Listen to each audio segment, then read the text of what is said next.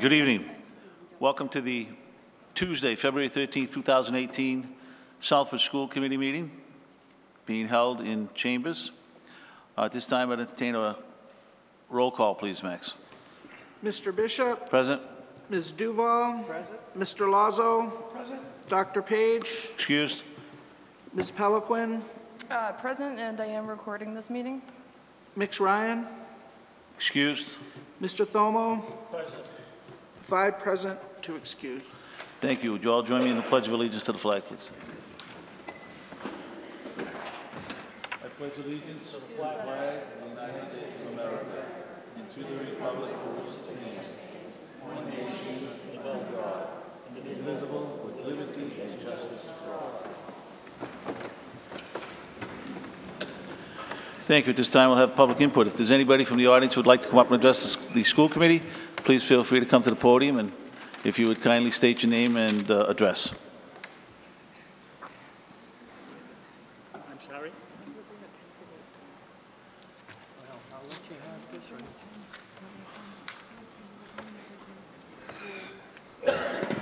Kathy Lapriori, 51 Mark Avenue. Um, I'd like to start off with saying that, Mr. Bishop, there you How are. how are you?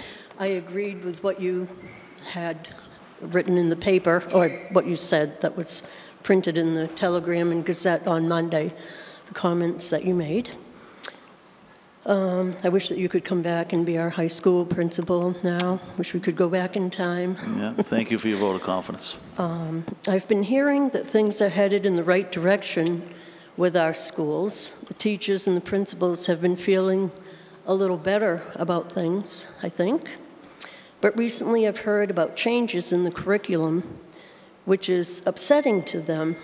Why do we have to change things when they seem to be a bit more positive? I just don't understand the changes. Um, And one teacher has said that it's starting to be run like a business. Education should not be run like a business. We have lost good students to school choice, and of course, they take a lot of money with them to these other schools. Do we get students coming to our town, bringing this money back to us? I don't think so lately. Hopefully, that'll change. Sometimes I feel it's a fad to send your child somewhere else. You know, it's just something to do. Just because people in charge at the top are not always making the best choices doesn't mean that our teachers aren't doing their jobs. We've got many wonderful teachers.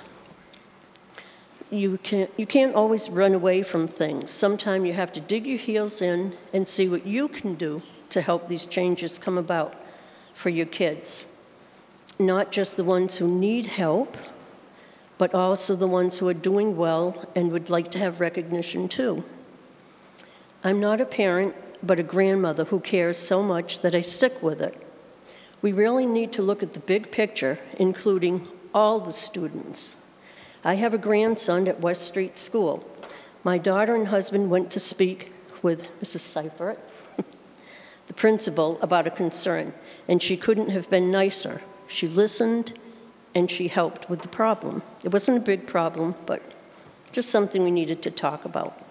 We keep hearing it will take time, I but I don't think it should take years to be able to hold our heads up again in our school system.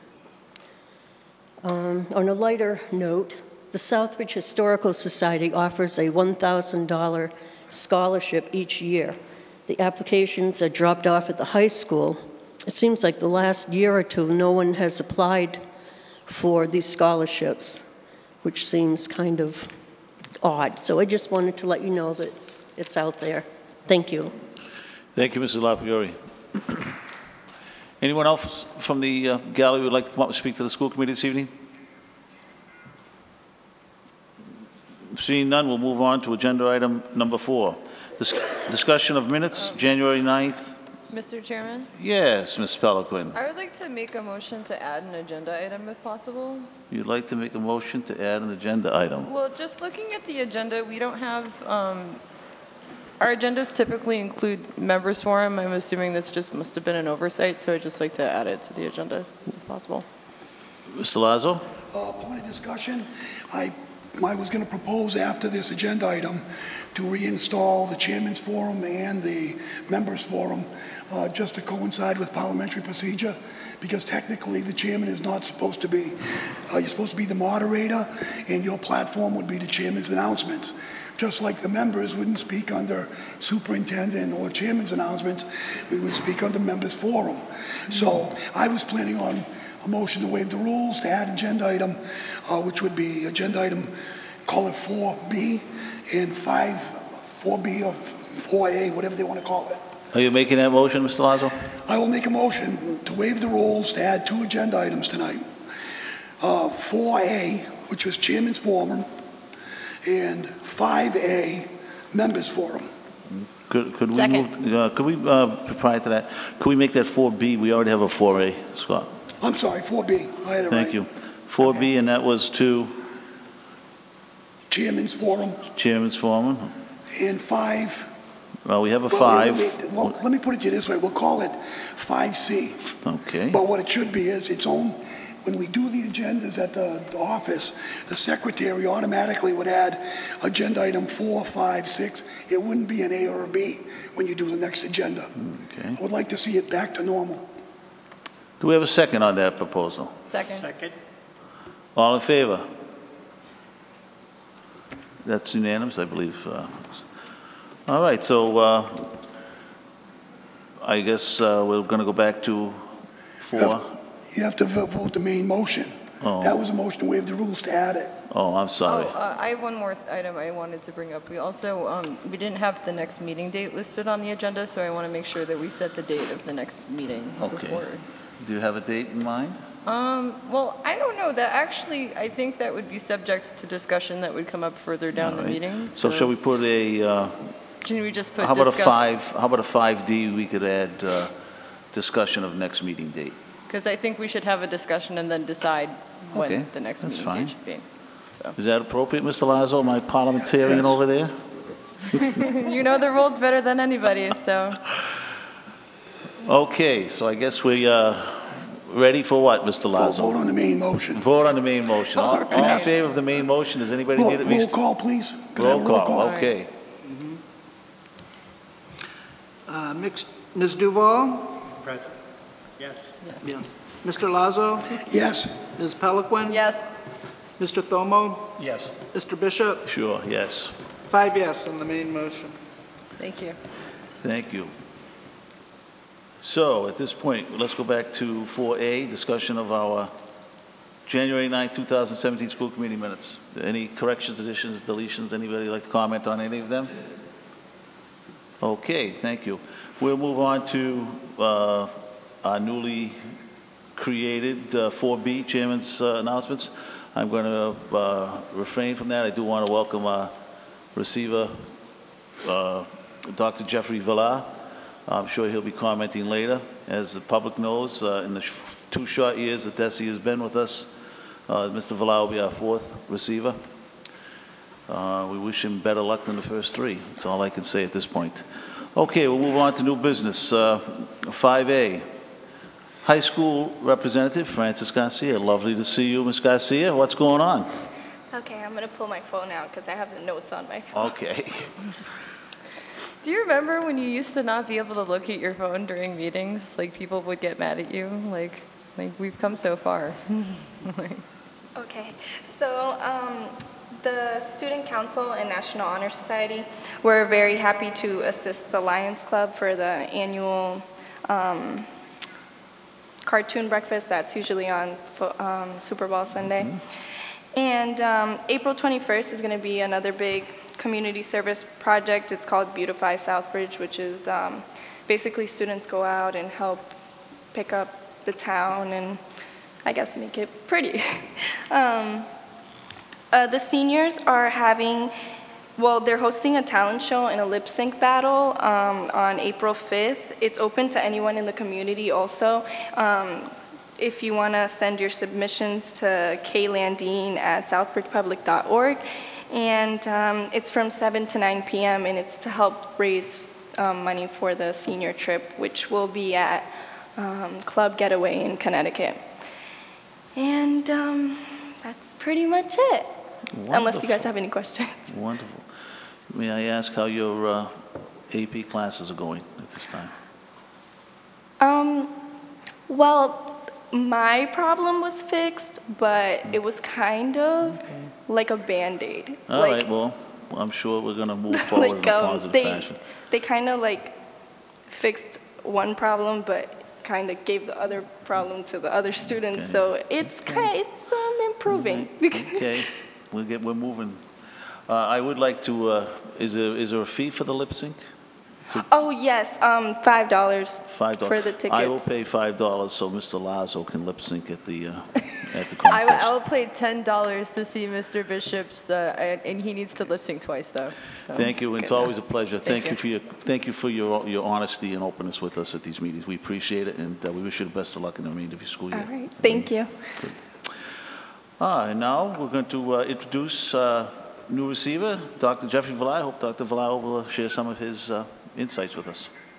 That's on all the time. On all the time. Yeah. Well, thank you very much. I'm very happy to be here. Um, I certainly um, understand and sense there's some tension and concern among members of the school committee about um, my selection and role here in the town.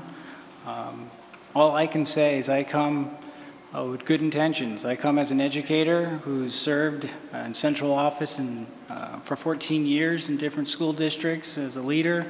Uh, Four years of that running a statewide nonprofit, uh, working to close the achievement gap. Um, I would like for this school system to have a great sense of success. Um, I would like to walk through the schools and see happy teachers and happy children and happy families. Um, I'm very pleased to say I spent time in all the schools today and I saw a heck of a lot of happy kids, heck of a lot of teachers that were excited, uh, working hard. Administrators greeted me at the door, felt very welcomed.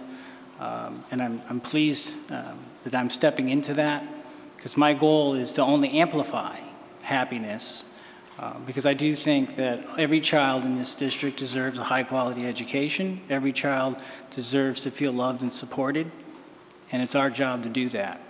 Um, candidly, I hope we can all work together to accomplish that goal and spend our energy looking forward and not relitigating the past. Um, there's a lot that needs to happen here. There's a lot of great things that can happen here, and I've heard of great things that have happened here. Um, so I hope, um, as you get to know me, you learn that I'm a pretty straight shooter, tell you how I, I see things. I'm passionate about student learning and supporting kids and families. I'm, I think I'm a pretty good listener, so I hope members of the community, members of the school committee, members of the town council um, will engage in conversation with me about how they want this school district to be so that we can work together to accomplish our, our common goals. Um, it, to me, again, it's just so critical every kid can learn. To hear of, about the AP situation and, and hearing that one problem solved, yet another is not, that's a, that's a difficulty, that's a problem we need to solve. And that problem is deep.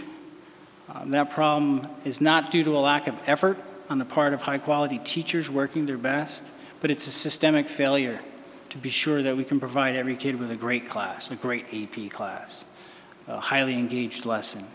I believe in systemic education, which means that all of us working together can get a better outcome. That uh, leaving it up to an individual teacher to solve all the problems of the kids in front of them, uh, those problems are too complicated for one person to do it. So we have to come together and we have to think about how we can support our teachers to do that. Um, I chose to come here uh, because I think that this town um, has a, a lot of great roots. Well, I'm a New Englander myself. Um, this reminds me of many towns I've been in, and um, I'm saddened to hear about a lot of the, the difficulties that have been here and the turnover. Um, know, on my first day, I learned of turnover. Um, these are problems we have to work together to solve, um, not against each other.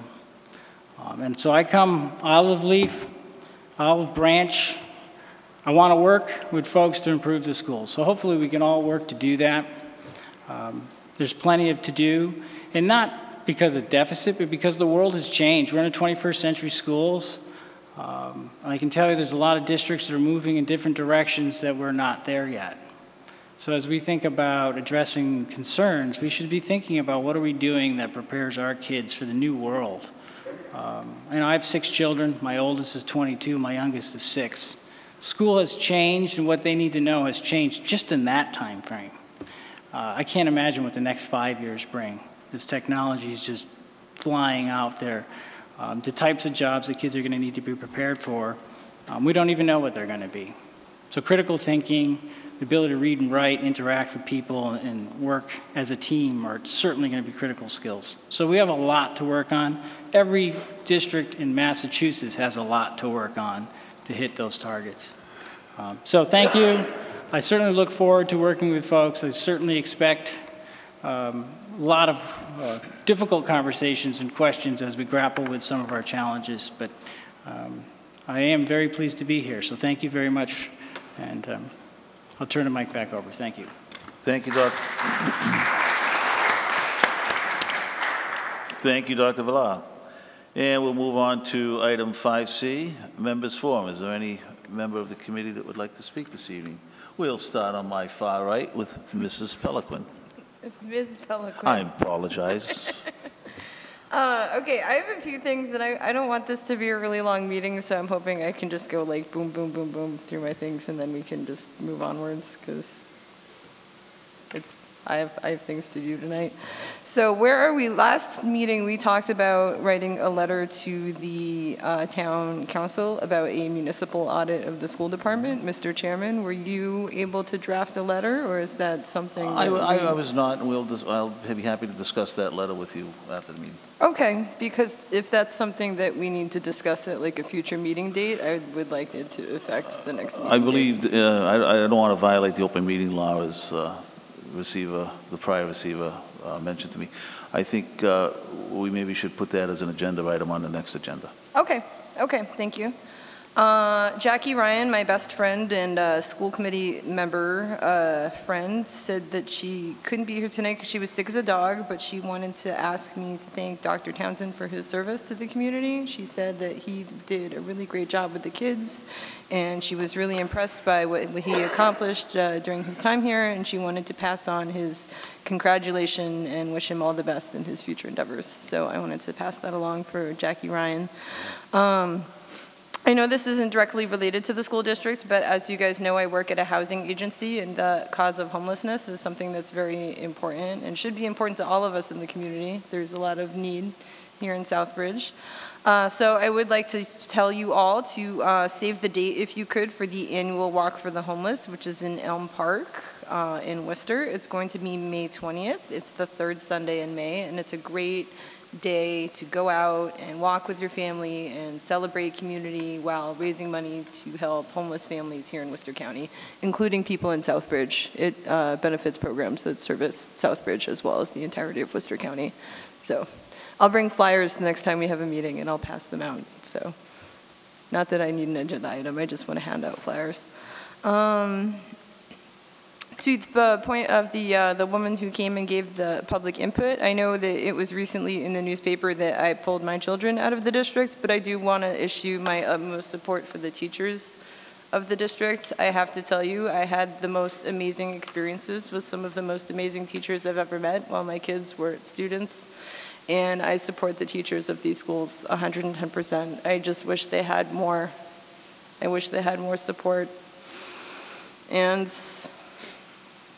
I would go into that more, but I think I would violate the open meeting law again. So maybe, you know, maybe for the next meeting, we can submit agenda items. Yes, that's absolutely, uh, goes to all members. Anything you'd like to see on the agenda at the next meeting, please. I think that would be good, because I would like to, forward I would like to have some time to sit and think about agenda items I would like to add, because there are, there are questions that I would like to have raised, like in terms of like service delivery not improving in certain areas since the receivership happened.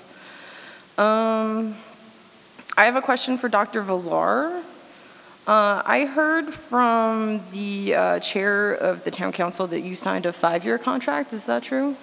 Uh, no, I, I have a three-year contract. Um, What I had stated during that meeting is they asked me um, how long before we saw measurable improvements, and I said my experience tells me it's generally about five years before we see that. So, but your contract is for three years? Correct. Okay, okay, because I didn't, I didn't want to go around town saying, you know, blah, blah, blah, has a five-year contract without, like, talking to you. So I think that's a good thing to get out for, because, you know, the public wants to know, you know, what kind of a commitment can you make for us? Because, you know, I understand it's a really big commitment, and you're, you're taking a leap of faith, because this is a very hard job. You know, this, I'm not going to lie to you, it's a difficult job. Um, okay, I have other things, but I think I, I think I'm good for now. So, yeah. Thank you. Mr. Wall, Yeah, I want to welcome Dr. Villar. could you grab your microphone, please, so the Yeah, bring it people... closer to your face. I'm sorry. You're gonna talk into it. Uh, I'd like to welcome Dr. Villar on board. She just asked one of the questions that I was going to ask. Um, So technically now, does the receivership go back three years for us, and you might be here for five? So quite candidly, um, I have a contract for three years. Uh, The determination of the receivership, we certainly can go back to the uh, Department of Education. Um, I, my understanding is that they will continuously evaluate my performance and the performance of the district. Um, I candidly would like uh, to have a renewal and be here much more than three years. Well, welcome. Hopefully, everything works out good. Thank you. Mr. Tomo, Thank you, Uh, Mr. Chairman. Has an, um, a departure date been established yet for Dr. Townsend? Oh, This that is, would- this that is to the uh, receiver. Uh, No. So uh, Mr. Townsend did make me aware of uh, his decision to leave uh, yesterday. Um, We are now going to be in negotiation with the organization, the superintendent that's hiring him, um, to figure out what his last day in the district will be. Um, Clearly, I need to do what's uh, best for us, as they are now lobbying for their side. Uh, And then, of course, the next step will be identify an interim leader for the building, and then a process to select a new school leader. Thank you. Mr. Lazo. Yes, um, you have to excuse my cautious optimism. You're number four for me, and um, Mr. Townsend is number three. And as the door turns, the revolving door in Southbridge creates a uh, an unstable atmosphere when there's so much turnover, which this has been a roller coaster ride since the state got here. One of the things that concerns me, I welcome you, and you will be held on your own merits, not the performance of the previous three people. But the, the budget concerns me greatly. Uh, the numbers that are being put out, even your own salary line at $198,000. I don't know what salary study Russ Johnson did to uh, take our district and our issues and put it to a dollar number, but that's to me a very large number for a small district. Uh, and again, um, the turnover in the front office with the directors, the finance director's office concerns me greatly. Um, but I think I am cautiously optimistic. You seem to have good credentials compared to the previous receiver, who had no experience as a superintendent whatsoever, number two. And uh, I hope you bring out the team concept, which I love the team concept. I live my life that way. Working together, you can knock down any mountain, you can move any, va- any mountain side, and continue the good work. The problem is, some of the people that have come here have zero disciplinary standard in this classroom and in the school. And I do want to point the finger a little more accurately at the secondary education. Our elementary schools have been coming leaps and bounds where I think the discipline really hurts and lacks, whether it be the belief that you should pet a kid on the head and not send them to the office, or if a kid strikes an administrator, which usually is a five day outside suspension by handbook, but they get a one day inside suspension. This has been the disciplinary standard at the middle high school, where it's like jailing, nailing jello on a tree. It doesn't have a standard where a child understands if you do this wrong, this is the penalty. If you do it a more severe problem, it's a more severe penalty. We've seen in the last three receivers to kind of cook the books on the disciplinary stats that the state beat us over the head with when they came in. So I think we're going to take a good look at it. I'm looking forward to coming into your office and deal with these issues on a one-to-one basis because what happens is people still contact the school committee. Although we have zero power, we are like potted plants. We've been put on the shelf. What happens is parents come to us in the supermarket, at the hardware store, on Main Street, and they want to talk to us about the issues, problems, behavioral patterns, uh, an array of things. I would rather not have to deal with it here. I would rather deal with it in your office, like we used to do when Southbridge ran the district. But when we got pushed aside, it leaves one forum for us tonight. So I hope we can curb a lot of the complaints where they can be handled more at the building level, which is not my job. It would be your job to deal with the building managers, the principals, which needs a lot of work. We are going to be losing Mr. Townsell. We were promised this big, the sun's coming out, Mr. Townsell's here. He will be here for a long time. Pioneer family every morning. Well, Pioneer family, daddy's leaving. Now we have to refill the position, and I'm confident with your qualifications are much better than the receiver two who put the person in position in the first place. Mr. Townsell, I wish him the best. He's put his best efforts forward. But again, you must stay in position for a period of time in order to see results. I noticed I looked at the West Street crew there and the elementary crew. They stick. They live here. They're taking ownership to every decision, whether it's a good one or a bad one. I can get behind that 110%. I can't get behind the disciplinary standard that we have at the middle high school. It's time for some drastic changes.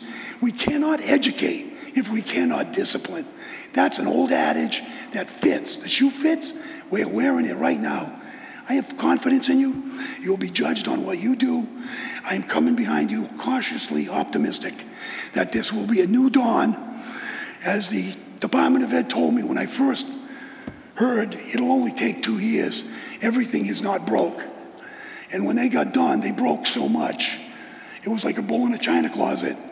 You're being handled, you're being handed quite a feat. And I think you're going to need this school committee. Get us on board. Let us know what you need. Let's work together on it. I'm behind you 110%. But the minute we play a foolish game, like when Russ Johnson has a school committee meeting and then announces after the school committee meeting and presents the new receiver or does all the budget decisions, not with us, but after us, that's not good. That's not dealing in good faith. And I think when you deal in good faith, you build the trust, you build the relationship, and I, for one, will not let you down if I am on your team. Thank you very much, Mr. Chairman. Thank you, Mr. Lazo. I think our student rep would like to ask a question. She's nervous. Um, so, I mean, I'm a senior, so it doesn't really affect me, the new principal. I mean, like maybe for three months, but I'm leaving, so it doesn't really matter to me.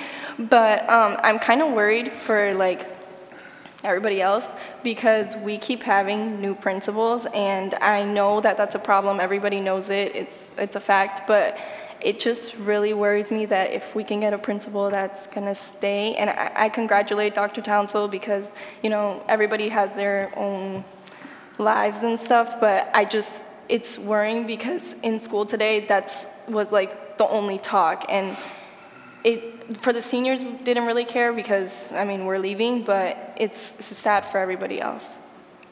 Certainly is. Uh, Sad for me, too. I, I also understand um, the complexity of having a new leader all the time and how that's not good for um, the students, it's not good for the teachers, it's not good for this community. I mean, it's something, again, that we all have to work on because part of what we need to do is market our community, right? So that um, when we are doing this search, we can get the best and the brightest, and we can also probe. And candidly, I can tell you my process, a lot of questions were asked about my commitment to be here.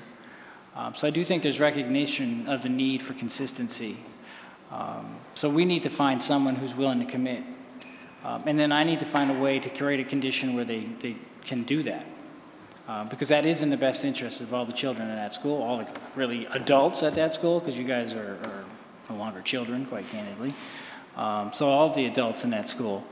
Um, So I I share your concern, and it's a top priority now that has you know, arrived on day one. Yeah, and um, thank you. I also want to agree with um, Mr. Lazo because discipline is a huge problem in both the middle school and the high school. And um, I know people don't think about like old ways, but my mom, like Mr. Lazo knows her, and it's just kind of sad because when my brothers used to go to school, it was not like that. And I feel like somebody like needs to be appointed like head of discipline or something, or I don't know what it's called, but it, it's a really important factor because it really does um, affect the classroom a lot.